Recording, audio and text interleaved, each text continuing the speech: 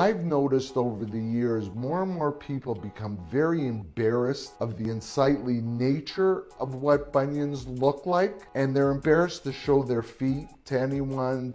They're embarrassed to wear sandals or go on the beach barefoot.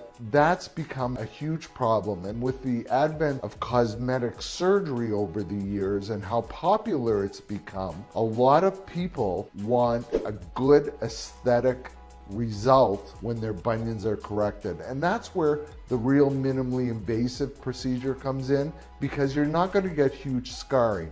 In fact, I don't even make incisions. I just make small pokes. I don't even use stitches. So the cosmetic result is very appealing and people love their transformation because not only does the foot feel better and they can wear shoes easier, but the cosmetic result is a true bonus for them.